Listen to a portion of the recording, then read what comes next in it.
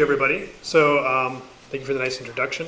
Hopefully, I won't be, won't be the first one to disappoint by going over 10 minutes, but uh, we'll see. I have a lot of slides. So, um, now, I'm not going to talk a lot about kind of what OpenRAM is, how it works, and so on. I've given a number of other talks online that we can you can look at.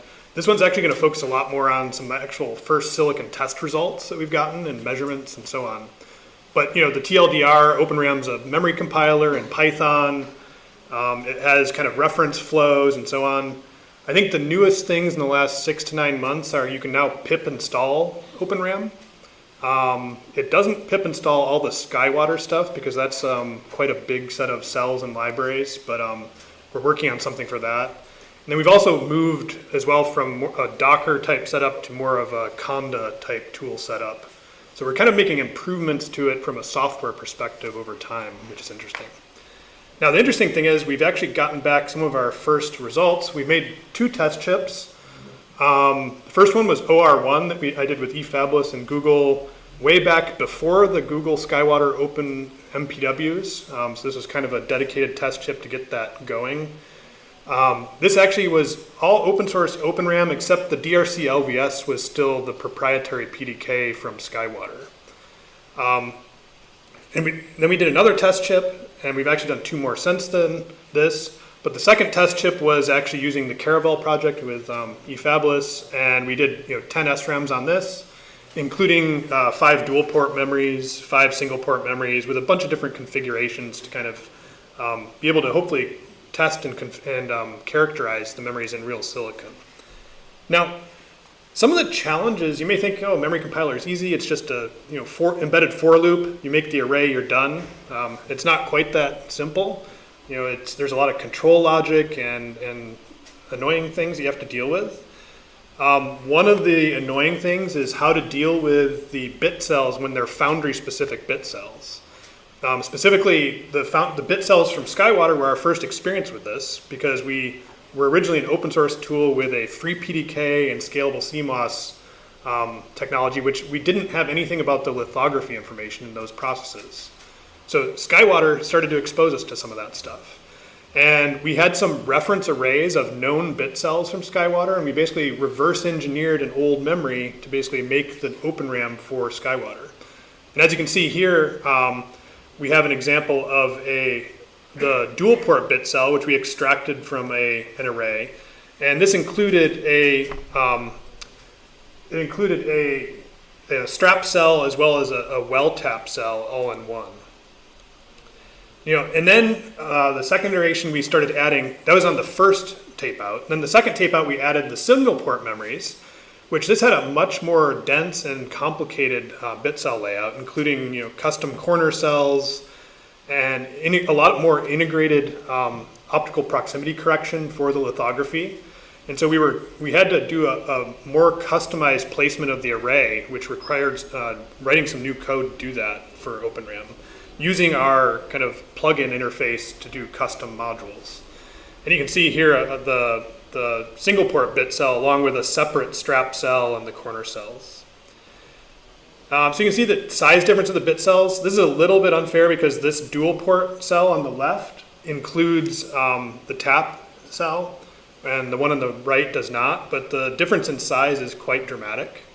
And you can also see kind of the customization of the layout of the cell of the single port is um, you know, uses some non-rectilinear geometries and so on. So it's a, much denser cell. Now, one of the challenges we had was how to verify these. So our first tape out, we used the commercial tools, which were able to handle a lot of these proprietary rules. The open source tools are were less flexible to the non-user design rules. So because the SRAM cells have all of these OPC layers that help with the lithography, they violate a lot of the design user design rules. And so we basically went with an approach to um, replace the, the bit cell in any sort of offending cell with an abstract view cell that passes DRC, but doesn't necessarily have all of the features in the cell. You can see here an example of the, the 6T single port SRAM cell, which we use to actually do the connectivity analysis to make sure that the bit lines and at least some of the high level stuff passes DRC, while ignoring the other contents of the, the bit cell. Now, so that's kind of how we address the main arrays. Um, we also had some other kind of custom stuff needed for our control logic in our memory. We do a replica-based control scheme where we use a kind of a, a fake column that is pre, all the bit cells are pre-programmed to a logic zero. And we use that to generate the timing for our um, array. And in order to do this, we had to generate a replica bit cell in red that's programmed to zero, and a, as well as a dummy bit cell that has the bit lines disconnected. And so we made those cells by very slightly perturbing the layout, and we're hopefully going to be getting some X-ray um, X-ray analysis of these bit cells to see how good our guesses were and how the lithography would play out.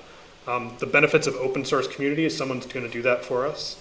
We did the same with the uh, dummy bit cell as well. Now, uh, decoders, I'm going to skip ahead to some of the actual results. So we taped out. Oop, jumped ahead too quickly. There's our actual die photomicrograph of the first one. Uh, we don't have the second one yet, but we have it on our this actual silicon. And who thought you'd see a shmoo plot in an open source um, uh, talk? But we've actually got uh, silicon measurements of that first SRAM, and it's it's functional. I think the main challenge was a lot of the routing at the top level. We didn't buffer a lot of the signals to do timing optimization to connect to the SRAM. So we're actually limited in performance by the, the interconnect connecting to the SRAM rather than the SRAM itself. And you can see, you know, we tested over a different set of corner uh, temperatures, um, voltages, and so on, and it was working up to around 40 megahertz, which is uh, not bad for for a first go. Then we also did um, you know, uh, voltage um, measurements as well. And then finally, we did a voltage retention uh, analysis, and we see that it retains voltage down to about 440 millivolts. Then we raise the voltage back up and be able to read the contents back. So we actually have some characterization results, um, which are encouraging. And then the second test chip, we have it on my desk. It's configuring the IOs, and we don't have a lot of life out of it yet. But hopefully I can talk to Tim more, and we can come up with plans to get it um, a little more analyzed.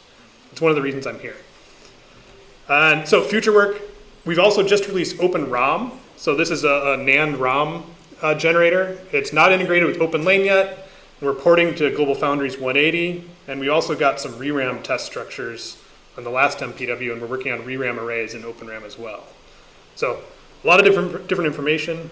I don't think I went too far over my 10 minutes, and I do want to leave time for some questions. So.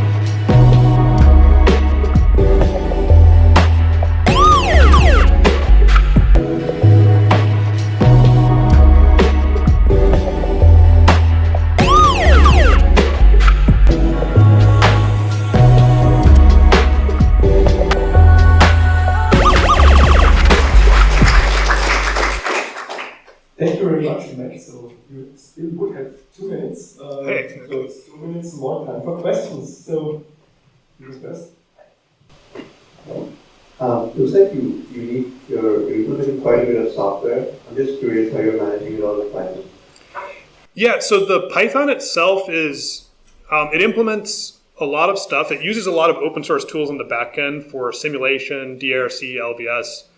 We try to use kind of a wrapper idea where we disguise the, the interface. So we can we can use, for example, simulation with um, you know HSpice, ngSpice, Xyce. You know any simulator that's kind of standard. We have an interface to it.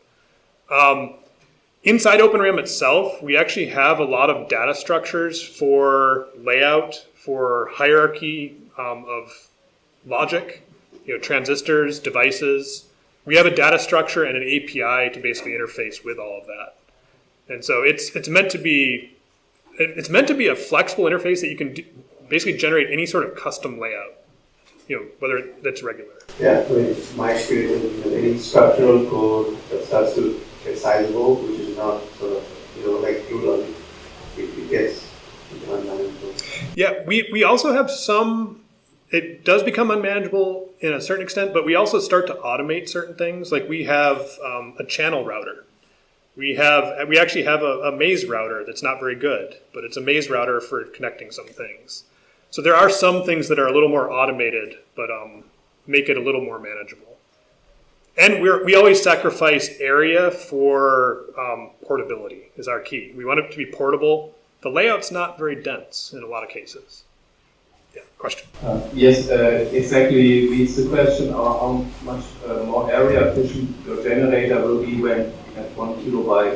You, in normal design, people say, yeah, just uh, use the RTL synthesis, and if you have enough chip area, this will at least be in one flow working and not much uh, loss of area. If you, compare your generator with uh, using a standard uh, tool flow for, for the same sizes of, of SRAM. So if you were to use a 1K like um, flip flop or latch based RAM, we're probably like 4x smaller. Alright. It's, it's, it's considerable. Once you're above a couple hundred bits, we're, we're a savings.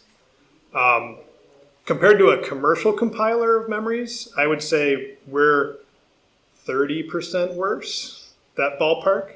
There's a lot of improvement needed there. Um, but again, our goal has always been portability and productivity. And then we have that on the horizon to go back for density and layout. But that's kind of a secondary goal still. I'm always looking for help, though. If people want to help with that, that'd be, that'd be good. Yeah, you've heard it. So. Okay, thank you. It's a follow-up question on Python uh, uh, as a program. So this is a realm of C++ usually uh, for this type of code. But have you ever run into a moment of aha? So maybe we should not choose Python because of a performance problem, or or not? So um, I would say the only reason I've said, aha, we shouldn't have chosen Python is because it's horrible at object oriented design. um, and we started the project in Python 2. Point whatever it was, way back, actually, quite a long time ago. And Python's evolved over time as well. And we didn't necessarily pick up on a lot of the design practices early on, which they happened after we started the project. So, like naming schemes to help with object oriented and stuff like that. Um, you know, the PD, what are, what are they called? The Python um, like suggestions, the design suggestions. Uh, so that's the only reason I've said I, I reconsidered would re- reconsider Python is that um, the, how it can abstract and so on. But that's not a fundamental limitation. And we've been revising it over time, so I think it keeps getting better and better. More questions?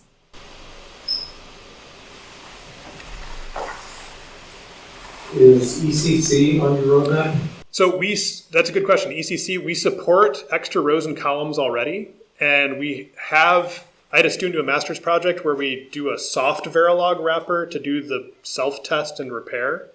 So you have extra glue logic that gets synthesized, but we and we have redundant rows and columns. Um, yes. More questions?